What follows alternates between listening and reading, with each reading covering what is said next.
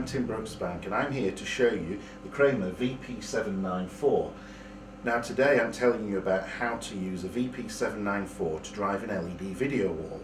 So here we have a section of an LED video wall. This in fact is a lighthouse screen. So we have six panels from a lighthouse screen here together with the screen processor or controller. All LED screens have screen components made of tiles a screen processor or serializer, it's sometimes called, or interface card, and a scaler which makes the video picture the correct size for the LED video wall. So today I'm going to explain how you use a VP794 to make the picture the right size and the right colour and look good on your LED video wall. So here's how you set up a VP794 to drive an LED video wall. But first of all, let me tell you what's special about scaling for LED video walls, because it's rather different from driving a projector or an LCD monitor. Now everyone's familiar in the AV world with standard resolutions for projectors and LCDs. They're typically, typically called VESA modes or SMPTE modes or CEA modes.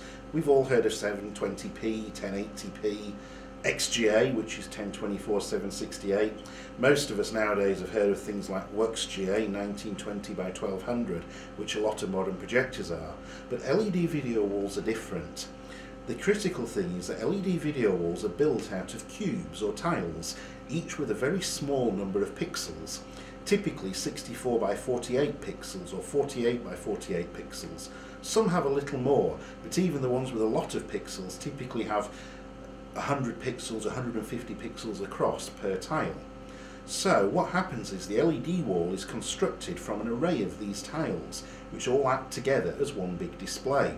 This means that the resolution you end up with has nothing to do with any standard resolution that you find on a projector or an LCD monitor, but is purely based on how many tiles across the screen is and how many tiles tall the screen is.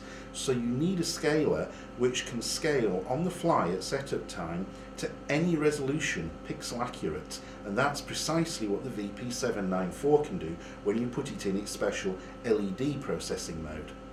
Now we'll have a look at the VP794 and how to put it into the LED processing mode and how to set up the key attributes such as the size of the picture, setting the sharpness and quality of the picture and also calibrating the colour of the picture. Ready for doing the setup of the picture size. So I select the test pattern. Now the default test pattern here is grey vertical bars. That's not really helpful for setting up the sizing. I'm going to turn the jog wheel and select um, I like using the SMPTE test patterns, SMPTE colour bars, because they're nice and easy to set up with. They're bright, you can see what's going on, and they have defined edges. So now I've selected that, I'm going to go into the output menu, and I'm going to select the output window size, which I've turned on. And first of all, I'm going to adjust the left edge of the picture. Now what you'll see here is as I turn the jog wheel, the left edge of the picture will move. You can just start to see the white bar moving, but the right edge of the picture will stay put. At the moment we're compressing the image in, and we're just right. Can you see that's too far? I'll turn the dial back a little bit, and we're just kissing the edge of the screen. So we've set the left edge up now. So I'll go back, and I'll go to the right edge. So now I'll turn the dial, it's quite a long way down, I've only 144 pixels here, so I'm going to turn the dial down, and the clever thing is the left edge of the picture will say put as I turn down the dial to bring it onto screen. And you'll see at the right side of the screen here, I've just gone a little bit too far, so each click of the jog wheel takes me back one pixel, and that's it. I've set my picture up 144 pixels wide.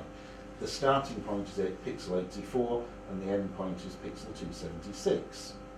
Now I'm going to do the top and bottom of the image. So I'll go to select the top edge and I'll adjust the top edge and bring it down. Oh, and there it is on screen, just overshot a little, about one click at a time on the jog wheel and there we are, perfect.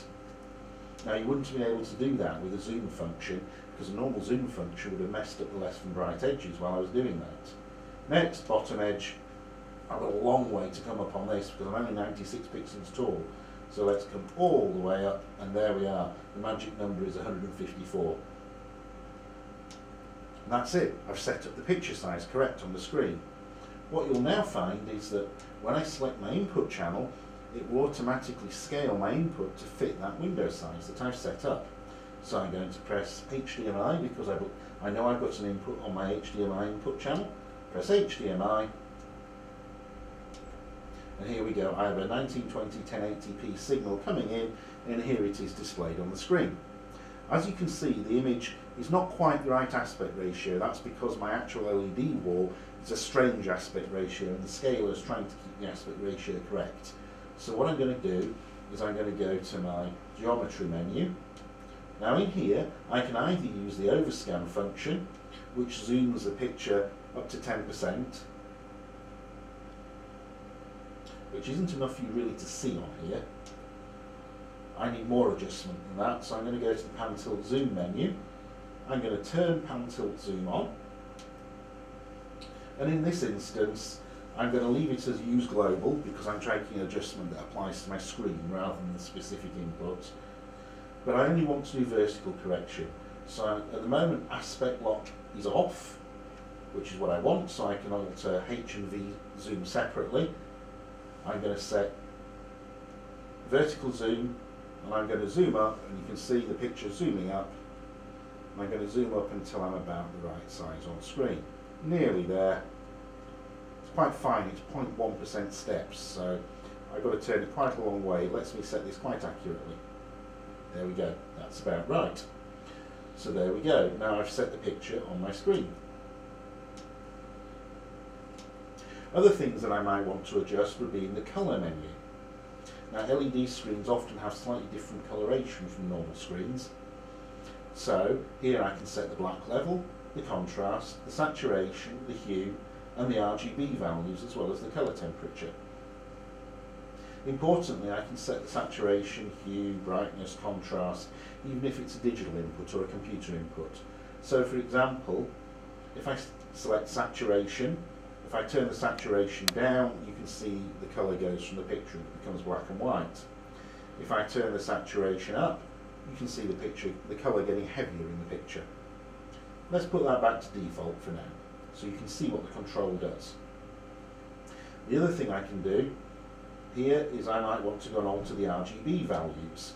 So for example, red bias, red gain, green bias, green gain, blue bias and blue gain, the bias settings set the black point, the gain settings set the white point. So if I want to put more red in the picture content itself, here we go, we've just had the video loop and it's starting off again and now we have a blue picture. So that's quite hard to show you more red. let's give it a try. So we'll turn up the red gain and you can see the picture's getting very red there. Or if I turn it back down to normal, you can see we'd have normal red. That's excessive, but it gives you an idea of how you can calibrate the colour accurately. And this is per input channel, so you can calibrate for different types of inputs. The other area where you can make adjustments is the enhancement menu, where you can adjust the detail and the sharpness. Now here, when we're filming to show you on the internet, you won't really see a lot of difference on that. You also might notice some moiré fringing on the picture. That isn't really there. Unfortunately, that's just a side effect of how we're filming this screen with a camera and showing it to you online. So you won't really have that worry on a real picture.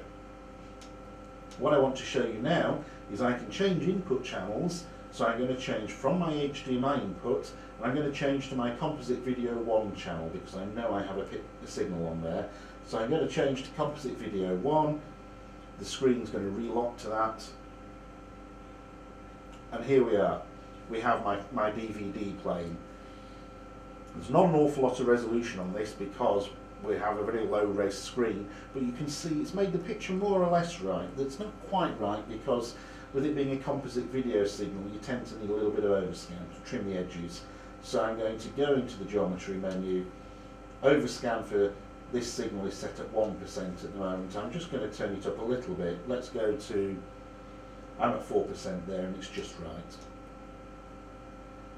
So the nice thing is now if I go back to HDMI, notice there's a little resync flash there.